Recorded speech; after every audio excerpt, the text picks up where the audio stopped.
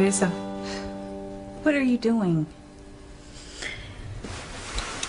Reliving the most wonderful night of my life with the man I love.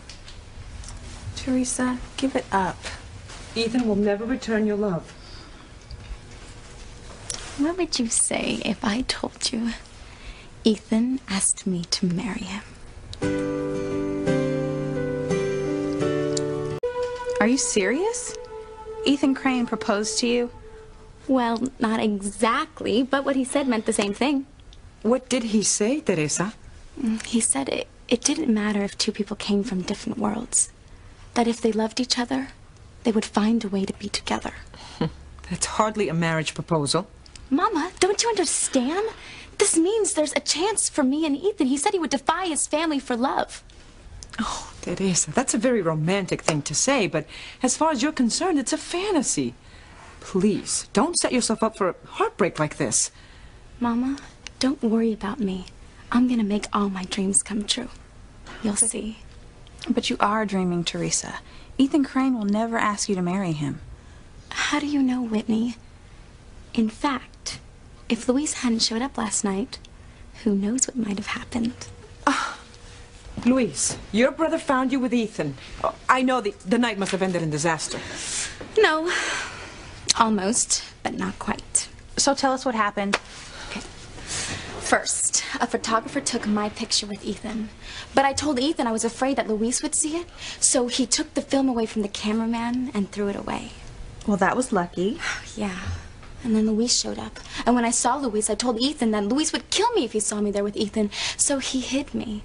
And then Luis came up to Ethan and demanded to know where I was. So what did Ethan say? Did he pretend you weren't there? Oh, he wasn't about to give me away, Mama. And then suddenly Gwen showed up and pretended to be Ethan's date. Ugh, Luis must have been furious. Oh, he didn't want to believe Ethan, but he had no choice when Gwen showed up. Well, what did Gwen say when she found you with her fiance? They're not engaged, at least not officially yet. Theresa, what did she say? I don't know. She didn't say much of anything while I was there. Well, she couldn't have been very happy. Well, I don't know how she could have been upset, Mama. The only reason I went to the ballet with Ethan was because Gwen was too busy working to go with him. Well, what did Gwen say when Luis left? I don't know. I had to get out of there fast so I could beat Luis home. Well, she must have been shocked. Even though there's nothing going on between you and Ethan. It could cause trouble for Ethan and Gwen, Theresa. Well, I don't see how if I mean nothing to Ethan. But how would you feel, Theresa, if the guy that you were going to marry was on a date with another girl? I mean, Gwen has loved Ethan since she was a little girl. I mean, she thinks he belongs to her. I can't believe it. My mother and my best friend are more worried about Gwen than about me. I have also loved Ethan since I was a little girl, Mama. I have put a lot of time and energy into this relationship, too.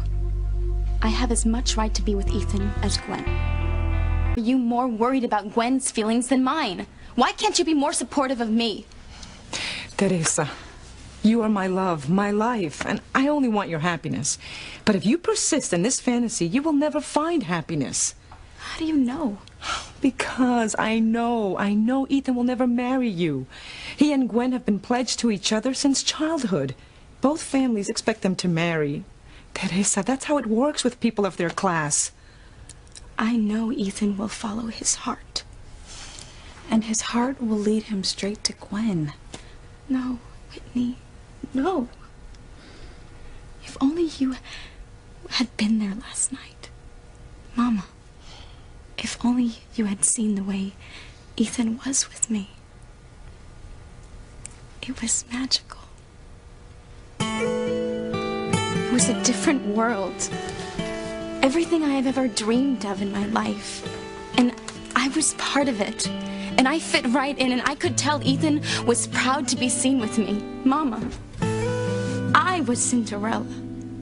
And Ethan was my prince. And where is your prince now, Theresa? Who did he go home with last night? Gwen. Who is he with right now? Gwen. You are nothing but a memory. You were the last thing on his mind this morning. If I would have told you a month ago that I would be wearing a designer dress and fabulous jewelry and going to the ballet in a limousine with Ethan Crane and to a party with important society people, would you have believed me? No. No. You would have said impossible. But I just proved that nothing is impossible if you want it enough. Enough. I, all right, I've got to get to work. Whitney, maybe you can talk some sense into this girl. I'll try. You know how much I love you, Gwen?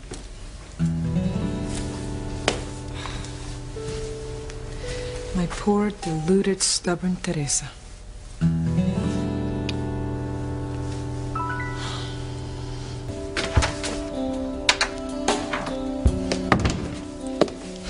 You'll excuse us. Theresa, what are you doing here? I came back to return the dress and the jewelry I wore to the ballet last night. Fine. I'll return the dress to Ethan's sister's closet. And you can return the jewelry to Mrs. Crane's vanity, and then you go to school. Yes, Mom. Theresa, I know it hurts you to see Ethan and Gwen together, but maybe now you'll believe that Ethan is spoken for.